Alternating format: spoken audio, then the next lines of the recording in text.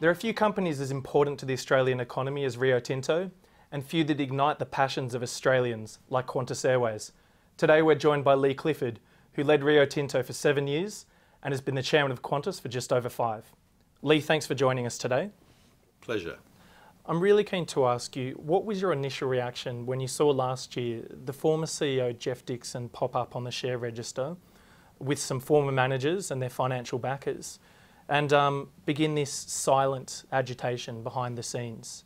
Well, I don't know if it was too silent behind the scenes, but you know, I'd have to say I was pretty disappointed, and I think a lot of people in Qantas were disappointed. I uh, I don't think it's appropriate for past executives um, to be out speaking to shareholders, unions, etc., and behind the scenes criticising very vocally uh, the strategy of the business for whatever reason. To be honest, I think sometimes past executives are going to move on. Have you seen anything like this in companies that you've worked in No, or been a director of? no, I, I was pretty disappointed, frankly. No, I haven't. Final question on that. Look, it was shortly after the share price was at a record low. Um, Yes. Couldn't it have been the case that they had some ideas worth listening to? Well, I never heard them.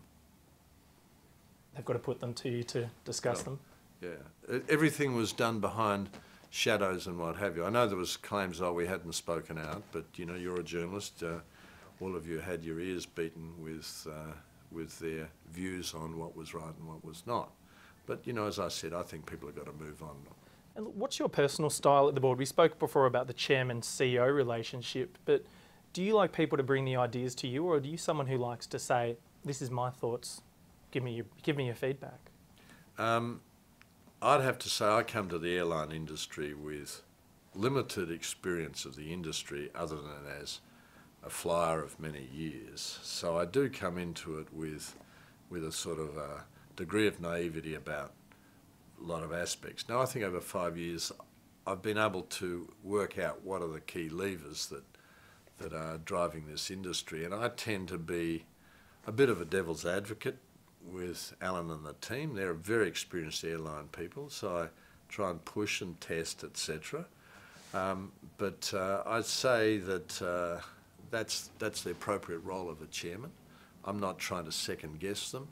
Um, I'd have to say I remember I said, look, the fly in fly out business in the mining industry is going to be here with us for a long time. So how do we participate in that? And you know the guys bought. Uh, Network Aviation a couple of years ago, and I certainly have sort of talked about how major projects and operations in remote part of Australia are going to be ongoing, important, even when prices come off the top, because at the moment we're seeing uh, iron ore and coal prices come off a bit, but we've got, I think, five major LNG plants under construction. Well, that's a lot of air tickets, fortunately. And look, a final question. You've had some very, very high profile, very interesting roles in your Mm. career. What's the secret of not, of A, being successful, but B, not letting it kind of destroy you?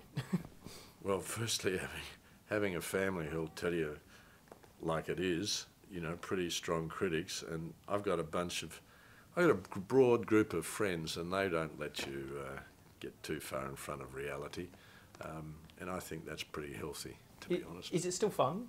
Yeah, absolutely. I wouldn't be doing this if it wasn't fun. You know, I've sat down with Alan quite often. We sit down and talk. We do it probably every every two weeks. We probably have dinner together and just talk about things. I wouldn't be doing this if it wasn't fun. I don't. You know, I I actually quite enjoy it. Well, Good to hear. Leigh. thanks very much for talking with us. Pleasure.